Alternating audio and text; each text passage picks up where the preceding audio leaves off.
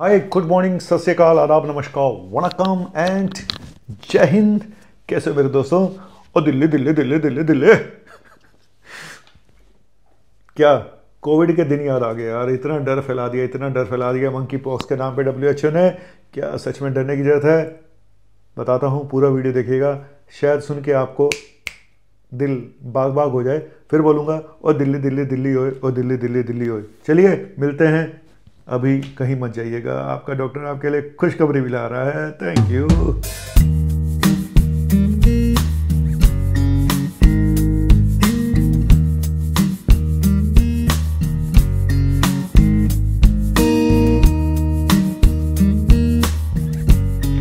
दोस्तों सबसे बड़ा सवाल ये है कि मंकी पॉक्स नाम की जो बीमारी जिसका डर बताया जा रहा है, जिसको लेकर डब्ल्यू ने एक इंटरनेशनल लेवल पे कंसर्न दिखाया, एक अलर्ट जारी किया है, क्योंकि कोई नहीं चाहता कि कोविड जैसी बीमारी फिर वापस आ जाए। जो हमने गलतियाँ कोविड में करी, वो फिर दोबारा से हो जाए। लेकिन सबसे बड़ा यक्ष प्रश्न ये है, क्या हमें डरने की ज़रूरत है? स्पेशली इंडिया को डरने की ज़रूरत है? सबसे बड़ा यक्ष प्रश्न। छोटा सा एक शॉर्ट वीडियो मैंने डाल दिया है उस पर यूट्यूब पर कि मास्क लगाना ज़रूरी है या नहीं है। लेकिन आज मैं आपको बताऊँगा, पहली चीज़ मंकी पॉक्स के लक्षण क्या होते हैं ट्रीटमेंट क्या है, क्या वैक्सीन कितनी इफ़ेक्टिव है, और भारत में क्या आ चुका है यह भी बहुत बड़ा यक्ष प्रश्न है, क्या भारत में आ चुका है, और क्या हमें डरने की ज़रूरत है। ठीक है, पहले बता दूँ मंकी पॉक्स वायरस से ही मंकी पॉक्स फैलता है। और सबसे पहले ये अफ्रीका में पाया गया था और ज़्यादा कंसर्न हुआ था 2022 में, जब कॉन्गो नाम के कंट्री में आया था, जहाँ पच्चीस हज़ार से ज़्यादा केसेस आए थे, एक हज़ार से ऊपर डेथ हुई थी। उसके बाद फिर बाकी अफ्रीकन कंट्री में फैला, उसके बाद अब तो ये बताया जा रहा है यूरोप में भी फैल गया और यूरोप के बाद अब जो लेटेस्ट इन्फॉर्मेशन है कि पाक ऑक्यूपाइड कश्मीर, जिसको हम अभी तक ले नहीं पाए, अब इस वायरस के बाद लेना चाहिए, नहीं लेना चाहिए, ये भी सवाल है। वहाँ पे चार पेशेंट पाए गए ठीक है? तो इंडिया का क्या समाचार है? इंडिया में 2024 मार्च में एक केस डिटेक्ट ऑलरेडी हो चुका है। इंडिया में आ चुका होगा, बिल्कुल आ चुका होगा। वो बात अलग है कि हमें अभी तक पता ना चलाओ इंडिया में दस्तक दे चुका होगा। क्या इंडिया में एंटर करेगा? बिल्कुल करेगा। आपको कुछ ही दिनों में सुनाई दे जाएगा कि देखो जी, फलानी जगह, वैसे तो केरला नंबर वन पे रहता है तो अभी सुनाई दे जाएगा कि केरला में नंबर वन केस मिल गया या फलानी जगह मिल गया। तो वो अभी चांस की बात है कि अभी तक हमें पता नहीं चला है, लेकिन आ चुका होगा, इसमें कोई डाउट नहीं है। ठीक है? अच्छा अब सबसे बड़ी बात इसका इंक्यूबेशन पीरियड होता है पाँच से इक्कीस दिन और सिम्टम आते हैं करीब एक से दो हफ़्ते में और पूरी तरह से ठीक होने में लगते हैं दो से चार हफ़्ते। सिम्टम क्या होते हैं? सिम्टम होते हैं देखो आ, जैसा स्मॉल पॉक्स माता जिसको बोलते थे माता आ गई माता आ गई है ना चेचक। तो स्मॉल पॉक्स की वैक्सीन लगी होगी ज़्यादातर लोगों को, हालाँकि अब उसकी इतनी इफेक्टिवनेस नहीं रह गई है, लेकिन फिर भी क्रॉस प्रोटेक्शन मिलता है इस वायरस को जिनको वैक्सीन लगी हुई है। और सिम्टम कैसे हैं और फैलता कैसे है? सबसे ज़रूरी चीज़ कि ये फैलता कैसे है? ये फैलता है क्लोज कॉन्टैक्ट में आने से, जफ़ी पाने से। हाय, है ना? मुन्ना भाई जैसी जफ़ी पाने से और जादू की जप्पी और सेक्स करने से स्पेशली गे जो लोग हैं सेम सेक्स वाले जो करते हैं उनमें ज़्यादा होता है एचआईवी के पेशेंट में हो सकता है और अगर आप किसी के कप कपड़े यूज़ कर लें बेडशीट यूज़ कर रहे तो वहाँ से भी हो सकता है। तो कुल मिला के क्लोज कॉन्टैक्ट से होता है। हवा से नहीं होता जैसे मैंने अपने शॉर्ट वीडियो में बताया हवा से नहीं होता है। तो हवा से नहीं होता तो फिर मास्क लगाने की ज़रूरत नहीं है है ना? ए सिम्टोमेटिक करियर से हो रहा था कोविड यहाँ पे ये क्लोज कॉन्टैक्ट से हो रहा है तो ज़्यादा करीब बताइएगा गर्लफ्रेंड से थोड़ा दूरी बना के रखिएगा गर्लफ्रेंड के यहाँ पे दा, दा, दाने दाने से नज़र आ जाए। है ना? जब भी आप अपडेट पे जाएँ तो पहले गर्लफ्रेंड को देख लें बॉयफ्रेंड को देख लें। कोई दाने वाने तो नहीं है उसके। क्योंकि सिम्टम में दो तरह के सिम्टम है। एक तो फ्लू लाइक सिम्टम्स है ना? फीवर है बॉडी एक है, सिर दर्द है लिम्फेडिनोपैथी है, या गांठें निकल आई हैं, और उसके अलावा स्किन लीजन्स पस टाइप के लीजन निकल आते हैं। मैं फ़ोटो भी आपको दिखा दूँगा यहाँ पे।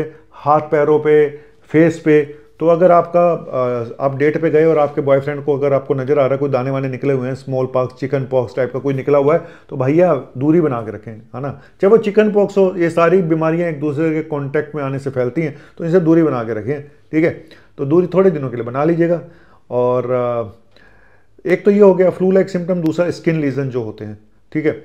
और डब्ल्यू ने बोला कि ये कोई न्यू कोविड नहीं है, लेकिन फिर भी आप एहतियात रखिएगा। और जो ये रैशेज निकलते हैं, इनको दो से तीन हफ़्ते लगते हैं ड्राई होने में और काफ़ी पेनफुल होते हैं ये, ठीक है? और फर्टिलिटी रेट कितना है? मतलब बताया जाता है कि ज़ीरो से दस परसेंट तक के फर्टिलिटी रेट है। हालाँकि चार परसेंट के आसपास है three point eight seven percent जो एग्जैक्ट एक वो है, इतने इतना फर्टिलिटी रेट काफ़ी है, क्योंकि कोविड का फर्टिलिटी रेट एक परसेंट के आसपास था, जहाँ तक मुझे अब तक मैंने अनुमान लगाया है। वो बात अलग है कि कोविड के आंकड़े अभी तक सही नहीं आए हैं, कितनी डेथ हुई, कितनी नहीं हुई। तो एनीवेज सिम्टम मैंने बताया, दो से चार हफ़्ते तक रहते हैं, उसके बाद पेशेंट ठीक हो जाते हैं। जनरली माइल्ड सिम्टम होते हैं, और, लेकिन कुछ पेशेंट सीवियर हो सक सीरियस हो सकते हैं स्पेशली बच्चे। और एम्स ने अभी कुछ गाइडलाइंस जारी की हैं और कुछ सेंटर भी बना दिए सफदरजंग हॉस्पिटल है आरएमएल हॉस्पिटल है, वहाँ पे आइसोलेशन बना दिया गया पाँच बेड का। कुछ ट्रीटमेंट गाइडलाइंस भी जारी की गई हैं कि कैसे ट्रीटमेंट करना है। और वैक्सीनेशन जो है, इसका वैक्सीन है इसकी, वो हाई रिस्क ग्रुप में लगा रहे हैं यूरोप में, जैसे कि जो एचआईवी के पेशेंट हैं, उनको लगा दो। जो गे हैं, है ना, जो होमोसेक्सुअल हैं, उनको लगा दो। तो इस तरह से जो हायर रिस्क पे पेशेंट्स हैं, उनको वैक्सीन लगा सकते हैं।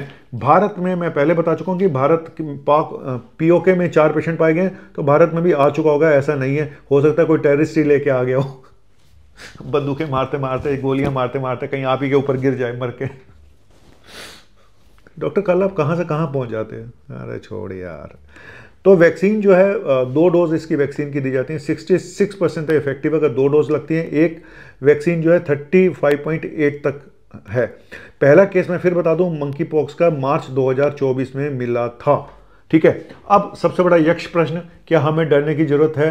जी नहीं, हमें डरने की ज़रूरत बिल्कुल भी नहीं है। सिर्फ़ आपको यही सावधानी रखनी है कि अगर आपको कोई पेशेंट नज़र आता है, आपको उससे दूर रहना है। होमोसेक्सुअल लोगों, अगर आप थोड़े दिन शांति बना लो, थोड़े दिन आप दूर दूर हो जाओ तो ज़्यादा अच्छा होगा। फिर एक दूसरे की ऐसी तैसी कर लेना बाद में जाके अभी मत करो, ठीक है? और, बाकी जो डब्ल्यू एच ओ का कंसर्न है, उनका कंसर्न अपनी जगह ठीक है, क्योंकि एक बार कहते हैं ना, दूध का जला, छाछ भी फूक फूक के पीता है तो जो कोविड में हमने इतने लोग खोए हैं और हमें देरी से सब चीज़ें मिली तो अब इसको कंटेन करना, इसको कंट्रोल में ला पाना ज़्यादा आसान है, क्योंकि एक तो फैलता, हवा से नहीं फैलता तो इसलिए, और एक बात सुनिए, मार्च 2024 में जब ये आ चुका था तो अब तक फैलना होता तो फैल चुका होता साफ़ सी बात ये है। कि अब तक मार्च 2024 में अगर पहला केस इंडिया में आ गया था तो अब तक फैलना होता तो फैल चुका मार्च से लेकर अब तक करीब चार पाँच महीने हो गए हैं।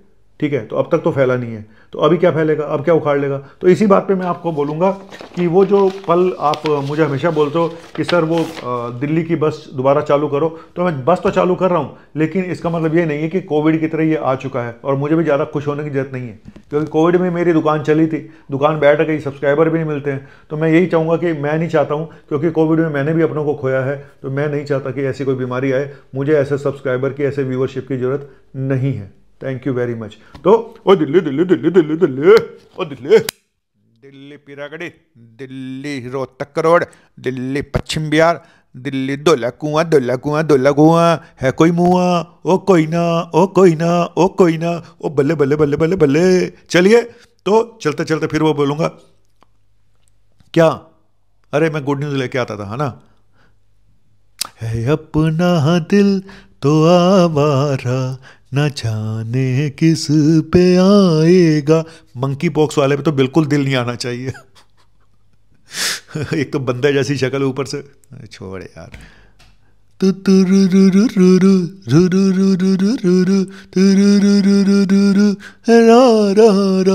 है अपना दिल तो आवारा, न जाने किस पे आएगा। चलिए थैंक यू वेरी मच शुक्रिया। सब्सक्राइब कर देना बच्चे को, अगर अच्छा लगे तो बाय